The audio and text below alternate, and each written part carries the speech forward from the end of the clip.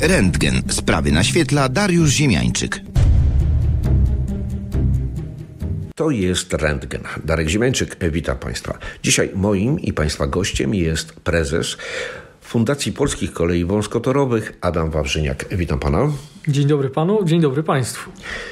Panie prezesie, czy już można powiedzieć, że sezon turystyczny na kolei wąskotorowej Rogów Rawa Mazowiecka, Biała Rawska został zakończony?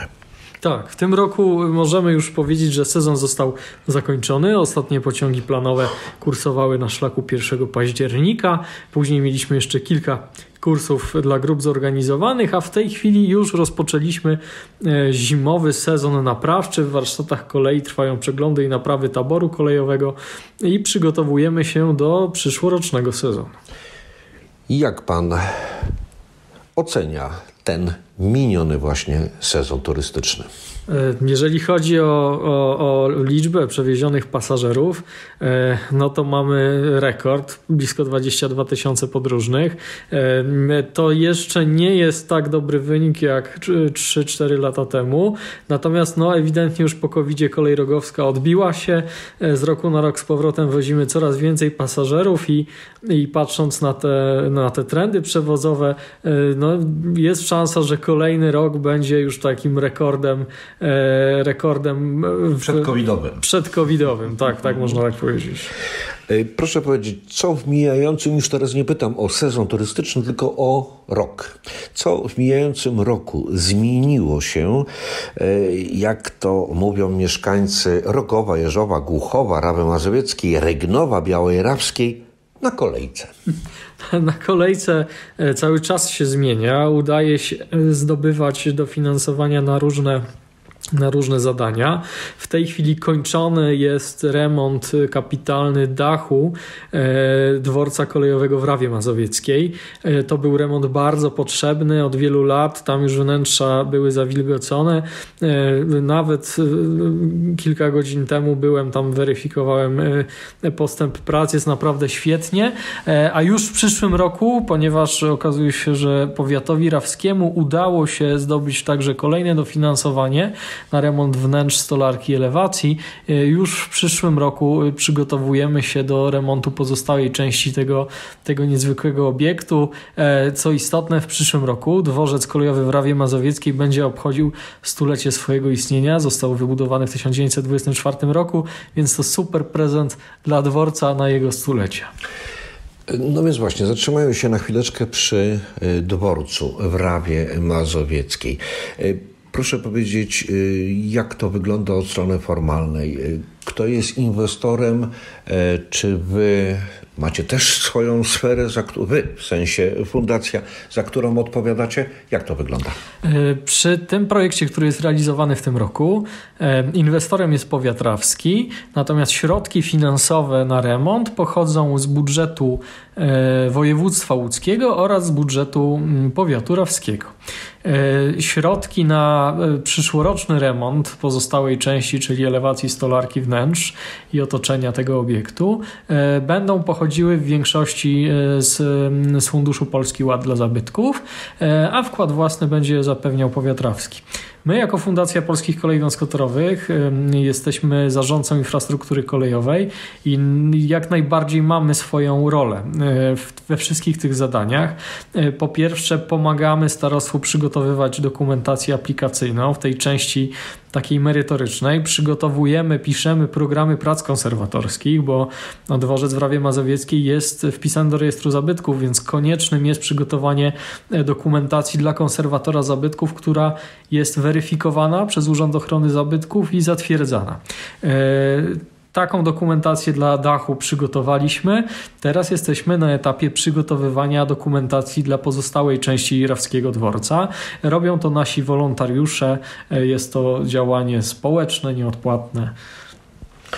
No jest właśnie, bo tutaj w tym momencie e, można byłoby zapytać, kto ma decydujący głos, jeżeli chodzi o właśnie tę inwestycję? No, zazwyczaj inwestor. Oczywiście, no zawsze inwestor ma głos decydujący i będzie nim także powiat rawski w tym przypadku. My przygotowujemy, tak jak już wspomniałem, tę część merytoryczną. Natomiast no, muszę powiedzieć, że współpraca z powiatem układa się dobrze. To nie jest tak, że inwestor, czyli powiat rawski, prawda, tutaj narzuca jakieś rozwiązania. Jest zawsze pole do dyskusji, do wzajemnych uzgodnień. Słuchamy się wzajemnie. Ta współpraca zresztą z powiatem trwa już 20 lat ponad e, i zawsze układała się dobrze. E, więc e, w tej chwili trwa dyskusja o funkcji poszczególnych pomieszczeń e, wewnątrz dworca, bo no, no mamy takie pomysły, żeby przynajmniej w części przywrócić mu tę funkcję publiczną i umożliwić korzystanie z tego obiektu na co dzień, ale tutaj nie, nie, nie będę jeszcze może wyprzedzał finalnych ustaleń. Cały czas rozmawiamy ze starostwem, z Wydziałem Infrastruktury i będziemy wspólnie wypracowywać ostatecznie, ostateczne, na pewno dobre rozwiązania rozwiązanie. No, rzeczywiście brzmi to interesująco, ale tak jak Pan powiedział przed chwileczką, e, rozmowy trwają, e, czyli no, musimy e, się uzbroić jeszcze troszeczkę e, w cierpliwość. A odchodząc już od e, dworca w Rawie Mazowieckiej, zapytam Pana o parowóz. I proszę, proszę przypomnieć historię tego parowozu, bo on już y, po remoncie, proszę mnie poprawić, że się mylę, y, pierwotnie miało to wyglądać tak, że on już chyba od roku miał tak, jeździć. Tak, tak, takie były pierwotne założenia. Rzeczywiście naprawa parowozu się przedłuża. Y, wpływ na to miała, miał COVID, wybuch wojny w Ukrainie i sytuacja przede wszystkim i na rynku pracy, i na rynku stali, bo bardzo długo trwały prace kotłowe, bardzo długo nie można było znaleźć odpowiednich blach kotłowych z, odpowiedniego, odpowiedniego typu i gatunku, e, który do tego parowozu e, były niezbędne do kotła. Szczęśliwie tę część mamy już za sobą. Większość takich prac przy kotle, przy kotle to wszystkie prace są już wykonane, przy osprzęcie też. W tej chwili parowóz wkracza w taki etap montażu poszczególnych elementów, także w nadchodzących dniach jedziemy do Koszalina na miejsce, gdzie, gdzie te prace trwają. Będziemy, będziemy patrzeć, jak to się, jakie tam są postępy, jak to wygląda y, i będziemy rozmawiali z wykonawcą o, o, o, terminie przywrócenia parowozu do ruchu. Bardzo by nam zależało, żeby w przyszłym sezonie turystycznym, e, skoro dworzec będzie obchodził swoje stulecie, to żeby mógł ten dworzec świętować e, e, w towarzystwie czynnego już parowozu. Duże szanse? Trudno mi to ocenić, tak jak powiedziałem, w najbliższych dniach będziemy, będziemy e, patrzeć na sytuację na miejscu. Szanse na pewno są e, i myślę, myślę że, że no, trzymamy kciuki, żeby to się sfinalizowało w roku 2024. A na koniec naszej rozmowy zapytam jeszcze Pana, jakie inne działania, bo rozumiem, że właśnie remont, modernizacja dworca e, kolejowego w Ramie Mazowieckiej i właśnie remont parowozu to takie dwa, te główne, podstawowe, mm, powiedzmy, elementy życia e, kolei wąskotorowej, rogowskiej, e, no, które są waszym takim mm, oczkiem w głowie, ale poza właśnie tymi dwoma aspektami, co ewentualnie się będzie jeszcze działo? No, y, zarówno parowóz, jak i dworzec to są oczywiście y, ważne projekty, natomiast y, to są takie pojedyncze działania w skali potrzeb całej kolei rogowskiej, liczącej blisko 50 km. Najistotniejszym tak naprawdę działaniem, największym to jest rewitalizacja całej kolei. Tutaj prace studialne prowadzone na zlecenie Urzędu Marszałkowskiego w Łodzi zostały zakończone już. Także Urząd Marszałkowski dysponuje już pełną pełną dokumentacją dla wszystkich wariantów. Mm, no i czekamy na, na ocenę i, i, i wybór rozwiązania przez marszałka województwa łódzkiego finalnego kierunku rozwoju tej kolei. E, wszystkie, wszystkie warianty zostały w tym opracowaniu przedstawione, e, także no mamy nadzieję, że w nadchodzącym czasie uda się te dyskusje, dyskusje rozpocząć i, i wypracować finalne rozwiązanie. Przypomnę, że tam są trzy warianty. Pierwszy to jest wariant taki turystyczny, inwestycyjny, czyli kolej będzie wyremontowana, ale jej funkcja pozostanie wyłącznie turystyczna. Wariant drugi to wariant, gdzie obok ruchu turystycznego istniejącym taborem będzie można y, także obsługiwać ruch codzienny. No i wariant trzeci to taki, gdzie też funkcja turystyczna oczywiście zostaje, ale kolej y, będzie w pewien sposób zmodernizowana, rozbudowana po to, żeby móc zapewnić codzienny e, przewóz pasażerów z większymi prędkościami, tak jak to się robi na wąskotorówkach w Austrii czy Niemczech. E, tam koleje wąskotorowe normalnie codziennie jeżdżą, zapewniając dowóz do pracy czy szkoły, czy wielu innych, czy, czy realizując różne inne potrzeby transportowe mieszkańców. E, I ten wariant trzeci także został oszacowany, policzony, opisany. I tak naprawdę to od, od decyzji Urzędu Marszałkowskiego teraz wszystko który z tych wariantów marszałek województwa zdecyduje się realizować. Czy mniej więcej, być może no, nieoficjalnie wie pan, e, który wariant ewentualnie ma największe szanse e, wyboru? Czy coś już w tym temacie e, można powiedzieć? E, nie, w tym temacie jeszcze nic nie można powiedzieć. Tak jak wspomniałem, czeka nas dyskusja e, z Urzędem Marszałkowskim, bo wszystkie te warianty poza swoimi kosztami mają też wpływ na otoczenie, na mieszkańców.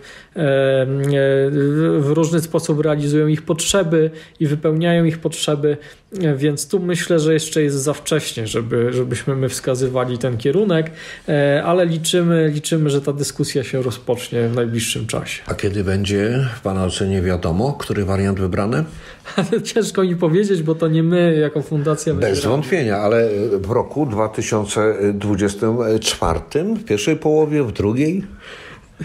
Nie wiem, no być może w, w, przyszłym roku e, wiosną czekają nas wybory samorządowe, więc e, być może ten projekt będzie tym, e, który rzeczywiście spotka się z, z oceną i wskazaniem wariantów w ramach różnych przygotowań i działań przedwyborczych.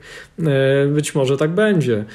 Natomiast no, nie mamy na to jako fundacja w tej chwili wpływu. My jesteśmy partnerem merytorycznym tego przedsięwzięcia. Pomagamy zarówno starostwu powiatowemu w Rawie Mazowieckiej, jak i Urzędowi Marszałkowskiemu w Łodzi. E, jeżeli coś trzeba będzie jeszcze do, doprecyzować, dopracować, odpowiedzieć na, na jakieś pytania, e, czy przedyskutować, to, to, to my zawsze służymy. Panie prezesie, w takim razie ja mam propozycję. Myślę, że pan się ze mną zgodzi, że jak już będzie e, wiadomo na przykład, który wariant zostanie wybrany, to Radio RSC będzie tym pierwszym które poinformuje mieszkańców powiatu brzezińskiego, skierniewickiego i rawskiego. Czy możemy się tak umówić?